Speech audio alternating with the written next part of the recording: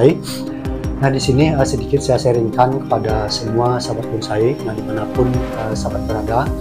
Nah di channel Mahkota Bonsai uh, saya akan mengajak uh, semua uh, sahabat bonsai, nah di mana pun uh, sahabat berada, uh, kita uh, belajar bersama, kita saling sharing pengalaman.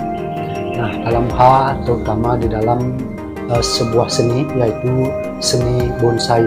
Nah, di mana di channel Mahkota Bonsai saya akan selalu memberikan informasi, nah terutama dalam hal uh, penggarapan penggarapan bonsai. Nah, karena saya sendiri adalah uh, nama saya Wayan Wirawan, di samping juga menggeluti atau senang uh, di bonsai. Nah, saya juga melakukan uh, membantu teman-teman kadang-kadang di dalam hal penggarapan sebuah bonsai ya boleh dikatakan saya juga uh, membantu di dalam hal uh, trainer nah untuk uh, penggarapan uh, sebuah bonsai. Bonsai Indonesia.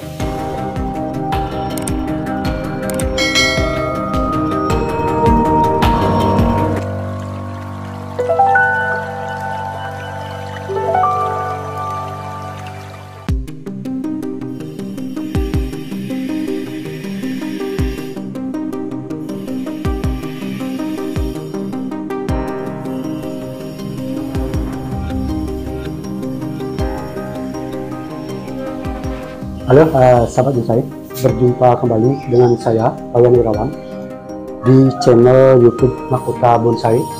Uh, pada video kali ini, nah, seperti biasa, saya akan melakukan uh, pembentukan pada sebuah bonsai, yaitu uh, pada saat ini uh, saya berada di uh, rumah kediaman saya sendiri, nah, di mana nah untuk penggarapan daripada uh, bonsai yang saya lakukan pada saat ini adalah uh, sebuah bonsai amplas. Uh, bonsai amplas ini adalah uh, koleksi saya sendiri.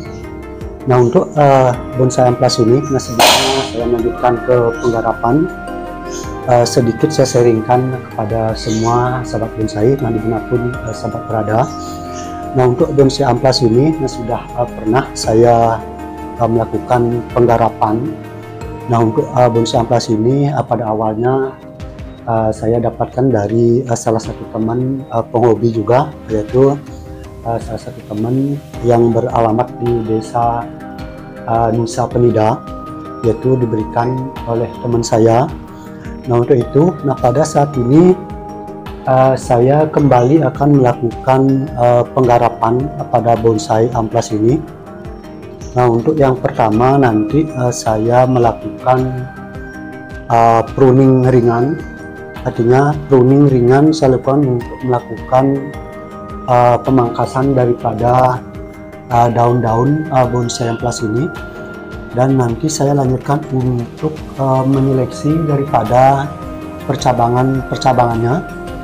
Dan untuk selanjutnya saya melanjutkan untuk penyempurnaan daripada alur percabangan uh, bonsai amplas ini nah di samping itu juga nah seperti yang sahabat lihat uh, bonsai amplas ini uh, kalau kita melihat dari bahan dasarnya ya termasuk uh, bogel sangat bogel sekali karena uh, memiliki uh, lingkar batang yang lumayan cukup besar. Uh, di samping itu uh, dengan ketinggian yang tidak begitu tinggi.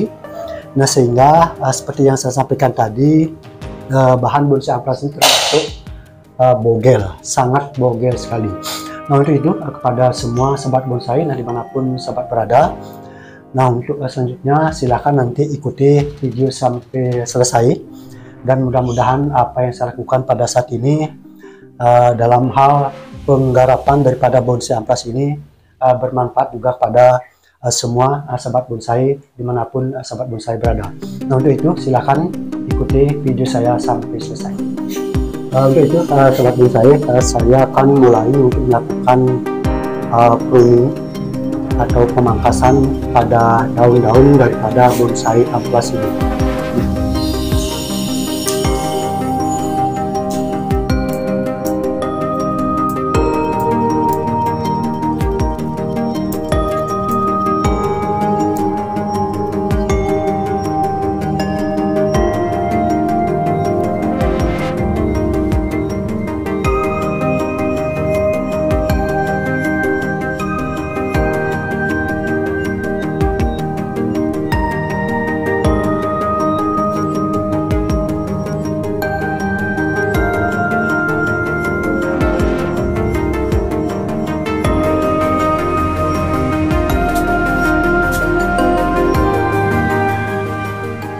Bonsai, uh, seperti yang saya sampaikan tadi, saya sudah uh, melakukan uh, beberapa tahapan pada bonsai amplas ini.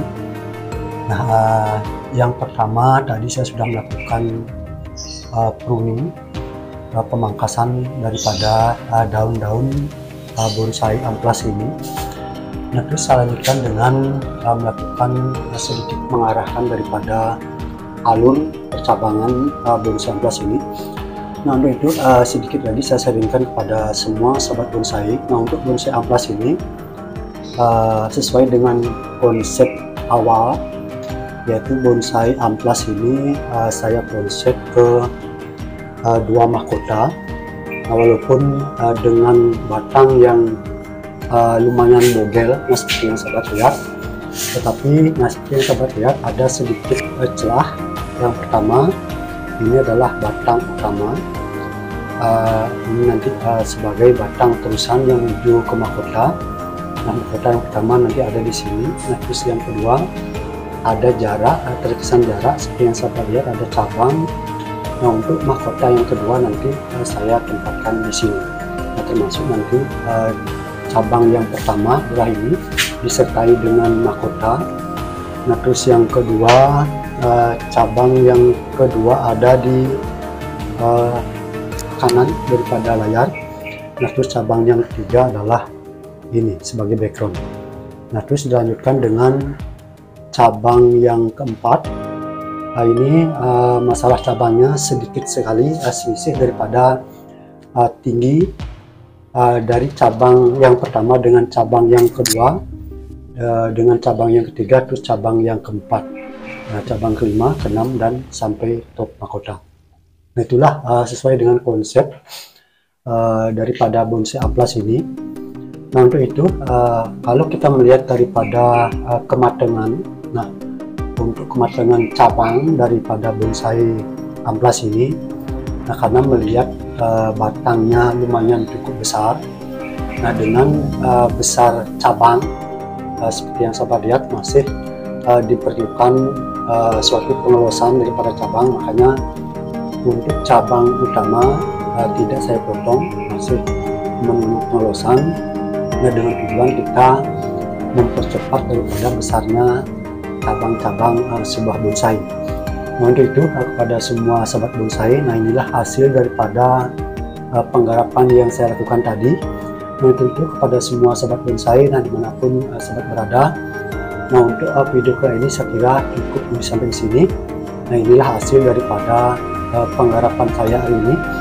Nah untuk uh, sahabat bonsai di mana pun sahabat berada, nah silahkan nanti ikuti video-video uh, saya untuk selanjutnya. Salam bonsai Indonesia.